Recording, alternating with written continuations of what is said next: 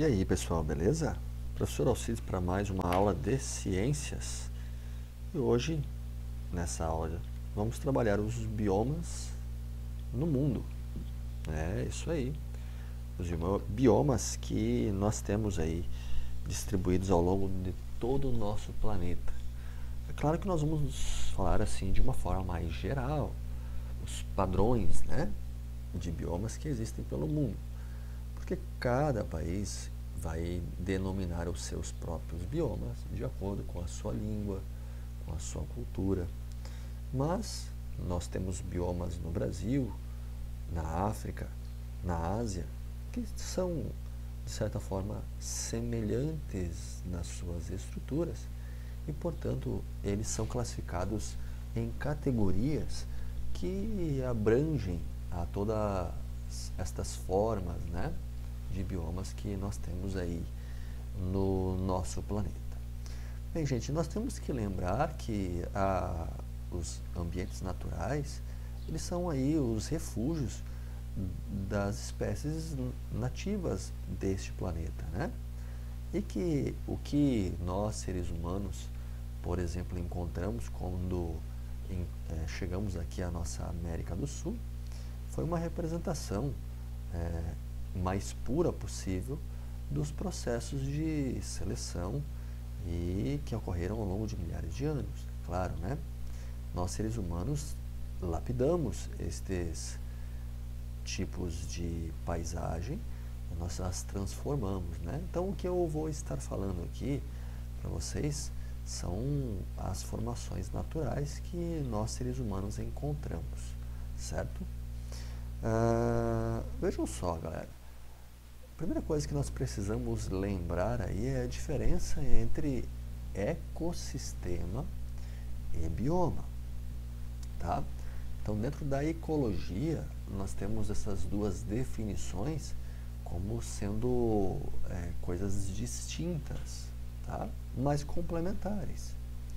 Vejam só, os ecossistemas são um conjunto de fatores abióticos, ou seja, que não envolvem os seres vivos, e bióticos, ou seja, que envolvem os seres vivos, como é, um fator que interage todos esses outros bióticos e abióticos, formando uma única forma de relação entre as espécies e um meio que ali existem ou coexistem numa determinada região.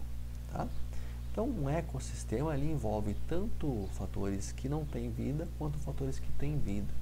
Né? Fatores que não têm vida, solo, nós temos o clima, a disponibilidade de água, fatores que têm vida, as espécies que ali vivem, a diversidade de espécies e a interação disso tudo junto com a fonte primária de energia é que forma um determinado é, sistema, né? Sistema ecológico de casa. Eco é casa, né? Ecossistema, o sistema de casa. Então, isto é um ecossistema. Um ecossistema ele pode ser pequeno, pode ser um aquário, por exemplo, de 20 por 20 por 20 centímetros. Pode ter ali um ecossistema, mas ele pode ser gigantesco e ter milhares de quilômetros. É, exatamente. Então, isto é o que forma um ecossistema.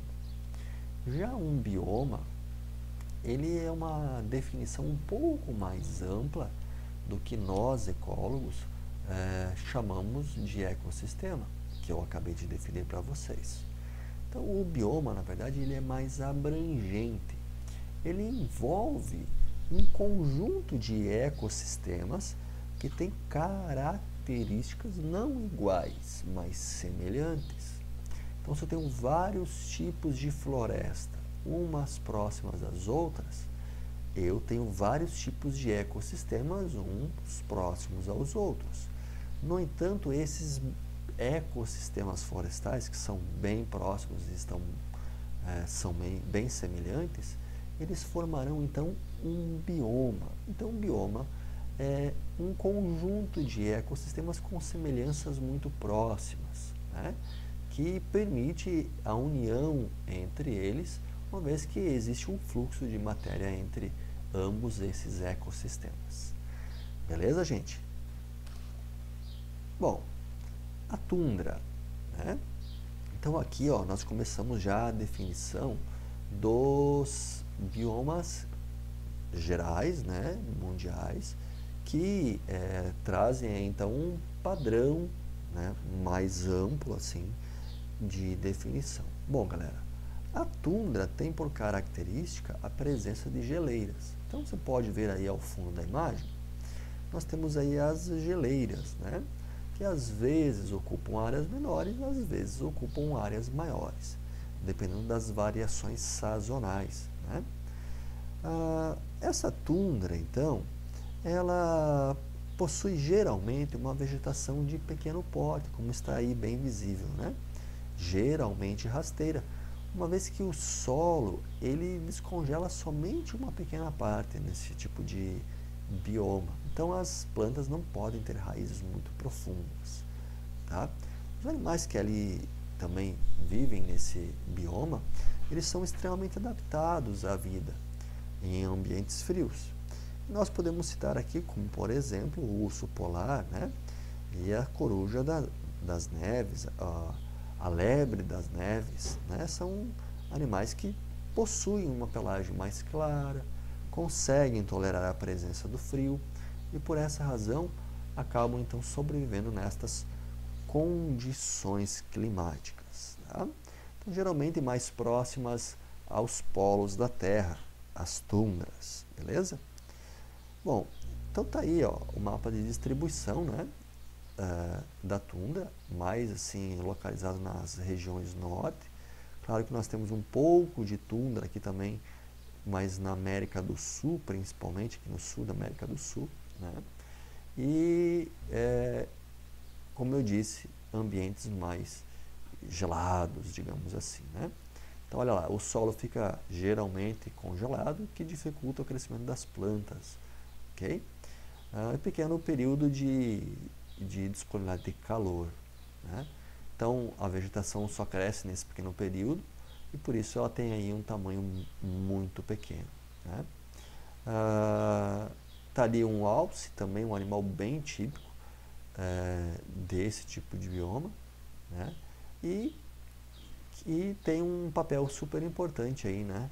no, no contexto geral, no bioma terrestre, digamos assim, porque ajuda a resfriar, criar grandes massas de ar frio que percorrem aí todos os outros tipos de paisagem, certo? Tá aí agora a taiga, né? A taiga, por sua vez, gente, ela também é conhecida como uma floresta. Parece que isso aqui não é floresta, né? Mas o que nós estamos vendo aí, gente, são imagens aéreas, tá? É, imagens aéreas de grandes árvores. Então, um grande conjunto de árvores, tá?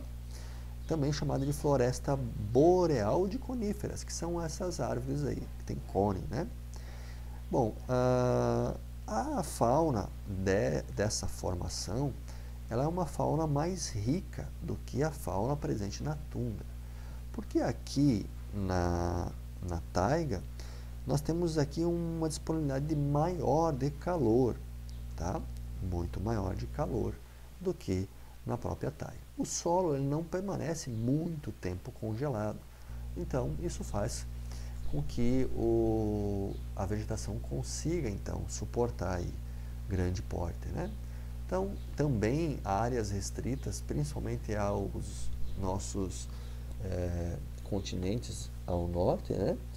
Uh, pode ver logo abaixo aqui, né, das áreas de tundra, que facilita uh, maior aquecimento do solo e, por consequência, maior tipo de é, maior porte de vegetação.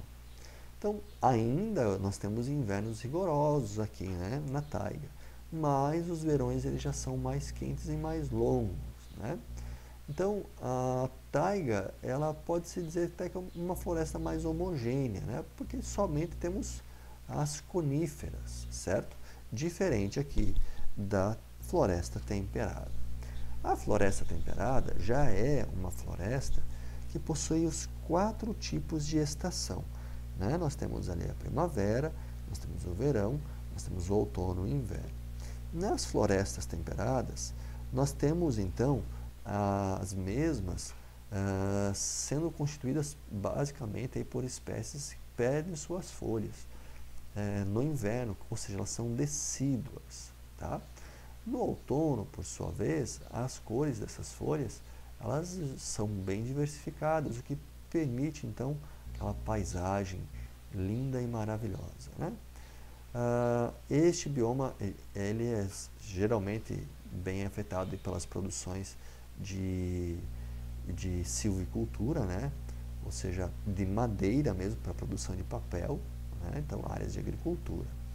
E é neste bioma que nós temos então uma fauna que já é composta por grande quantidade de invertebrados, anfíbios já estão presentes ali, répteis, animais que conseguem tolerar ainda a presença de um, de um frio intenso, vamos dizer assim, não tão longo quanto na taiga e na tundra, mas intenso no frio. Né?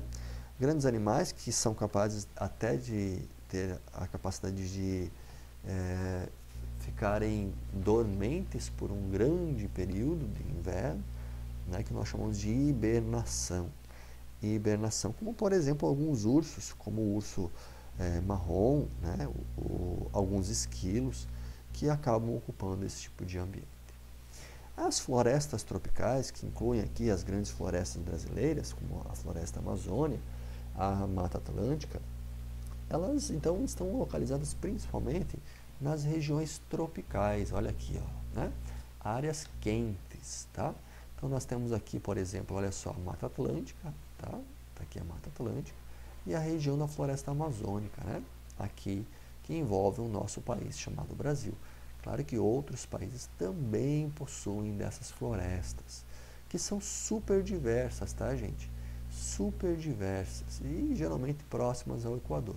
Pode ver na paisagem uma grande diversidade de espécies que ocupam aí este tipo de bioma. Essas florestas, elas não têm a, característica de ser é, é, caducifólias, né? como por exemplo nós vimos anteriormente. Mas elas sim têm grandes folhas, folhas que não caem geralmente, e claro, por serem quentes e terem toda essa diversidade de água, nós temos aí uma grande, grandíssima diversidade de espécies. Como também nós temos aí nos campos, né? campos que também estão nas áreas quentes, mas que em virtude de variações na disponibilidade de água, acabam tendo então uma variação hum, com relação às florestas tropicais no, em relação ao porte da vegetação. Aqui nos campos ou savanas, nós temos então uma vegetação já de menor porte, com algumas árvores adaptadas a esse tipo de é, paisagem. Né? Fauna também super adaptada, né? no Brasil mesmo. Nós temos um tipo de savana que é a, o nosso cerrado. Nós não temos girafa, nem elefante, nem leão né? Na nossa fauna, mas nós temos aí grandes carnívoros como a onça pintada, nós temos a anta, temos o tamanduá bandeira, são animais aí bem típicos, a ema, né? bem típicos da fauna do, da nossa savana. Esses aqui são principalmente animais da savana africana. Uh, então, esses dois andares, as, as árvores que, que, a, que, estão lá em pequena quantidade e as gramíneas formam essa paisagem típica da, das savanas né? ou campos. Os desertos, gente, o próprio nome já afirma, né? Deserto é um lugar que não tem absolutamente nada. Na verdade, não é bem assim, tá? Deserto, na verdade, é um, um tipo de bioma que envolve ecossistemas com quase ausência de vida, mas nós temos espécies que são adaptadas a esses tipos de é, ecossistemas que formam esse é, bioma, né, chamado deserto, digamos assim. Então, uh, mesmo com essa paisagem que vocês estão vendo aí, bem árida, né? alta evaporação, poucas nuvens, nós temos ainda algumas espécies que conseguem sobreviver lá. Né? Temos desertos, por exemplo, aqui na América, que tem espécies de roedores que não bebem água durante toda a sua vida, como por exemplo o rato canguru. Né? Temperaturas dos desertos variam muito, altas temperaturas durante o dia, baixíssimas temperaturas durante a noite. Né? Então, solos pobres e pedregosos, além da ausência uh, ou quase indisponibilidade de água. Outra característica também. Né? E algumas regiões aí desses ambientes desérticos nós temos lá surgimento de água e aí a vida explode nesses pequenos pontos, né? Chamados de oásis, oásis. Então tá aí, ó, gente. Uh, existem outros desertos que não terrestres, né? Como nas regiões de correntes marítimas frias no litoral, altas pressões subtropicais, ambientes de grandes altitudes e barreiras montanhosas também formam ambientes desérticos onde a vida é um pouco mais difícil, mas não impossível. Né? Ah, claro, né, nas bordas desses biomas nós temos as, as regiões áridas, mas não desérticas, que também tem aí uma limitação com relação à vida. Gente, então é isso, né? Basicamente esses são os nossos biomas terrestres. Nós temos aí a tundra, que acabamos de ver, a taiga, está aqui, vimos a floresta temperada, vimos as florestas tropicais e também os campos savana, e os desertos. Beleza, gente? Grande abraço para vocês e até a nossa próxima aula.